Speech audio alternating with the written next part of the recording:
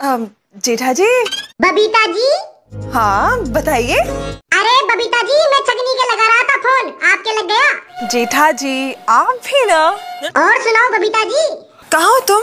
मैं मैं तो गटर में हूँ। वहाँ क्या कर रहे हो? कुछ नहीं। पार्टी करने गए हो क्या? हाँ बबीता जी पार्टी करने ही तो आया हूँ। गटर पार्टी मच्छरों के साथ। तुम वहाँ पे प्लीज़ कोई झगड़ा मत करना। अरे नहीं बबीता जी किसी से भी नहीं करूँगा झगड़ा जिस गटर में मैं आया हूँ उस गटर के मच्छर तो भोले हैं बेचारे आप थोड़े टेंशन में लग रहे हो। अरे कुछ नहीं वो कोई छोटी सी प्रॉब्लम है। कैसी प्रॉब्लम अगर आप मेरी एक बात मानोगे तो मैं बता दूँगा।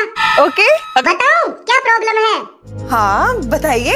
मेरा पाद बंद हो गया है बबीता जी। क्या बात है? वेरी नाइस इसमें वेरी नाइस की क्या बात है बबीता जी? ये दर्द मैं ही समझ सकता हूँ। No I am so sorry it's okay Babita ji. Thank you so much अब आपको मेरी एक बात माननी पड़ेगी बबीता जी।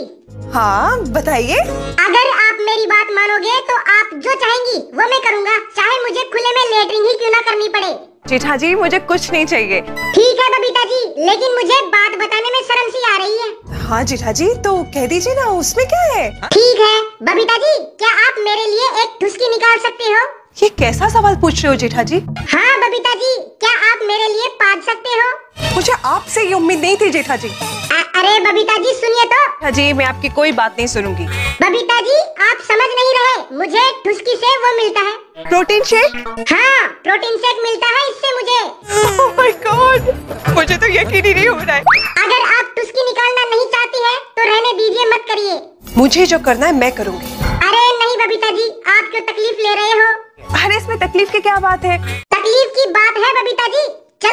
दीजिए मैं आपको कुछ सुनाता हूँ। जी मैं आपकी कोई बात नहीं सुनूँगी। प्लीज़ बबीता जी मैं आपको तहे दिल से सुनाना चाहता हूँ। ओके।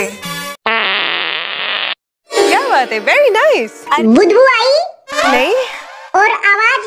हाँ, मुझे तो यकीन ही नहीं हो रहा है। मैंने ये आवाज़ सच्चे दिल से निकाली है। मैं ये कभी नहीं भूल सकती। मैं भी इस पल को नहीं भूल सकता। Thank you so much